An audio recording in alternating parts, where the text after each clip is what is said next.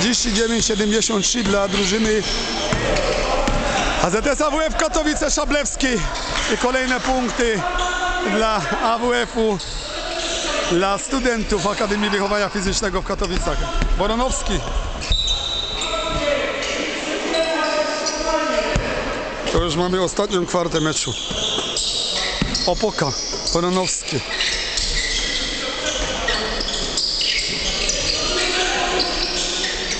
I pierwsze punkty Norberta Kujona, który po dwóch latach wrócił do gry z powodu kontuzji, poważnej kontuzji kolana, zerwanie wiązadeł, dwa, dwie operacje, e, rehabilitacje i pomału, pomału wraca do gry.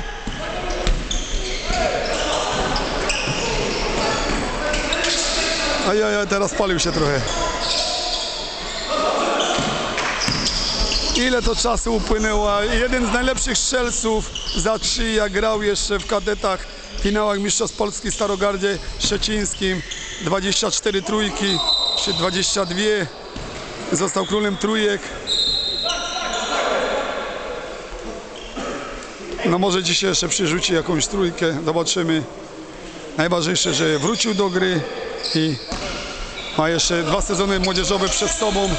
W tym roku 20 i w przyszłym roku.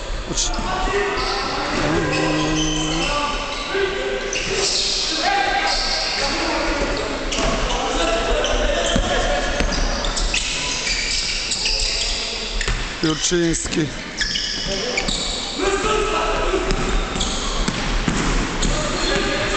Opoka. Moronowski. Stolarek.